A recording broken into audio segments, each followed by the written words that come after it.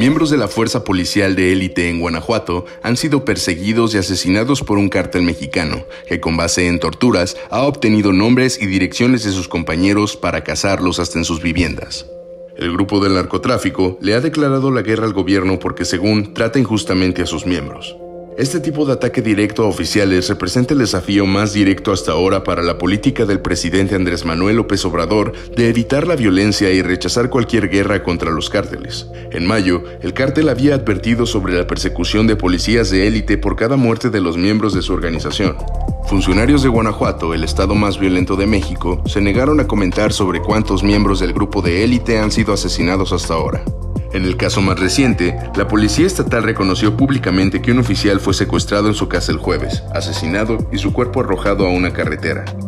El problema en Guanajuato se ha agravado tanto que el gobierno estatal publicó un decreto especial el 17 de mayo para proporcionar una cantidad no especificada de financiamiento para los mecanismos de protección de la policía y los funcionarios de prisiones. Guanajuato ha tenido la mayor cantidad de policías asesinados de cualquier estado desde al menos 2018, según PopLab. Entre 2018 y el 12 de mayo, un total de 262 policías han sido asesinados.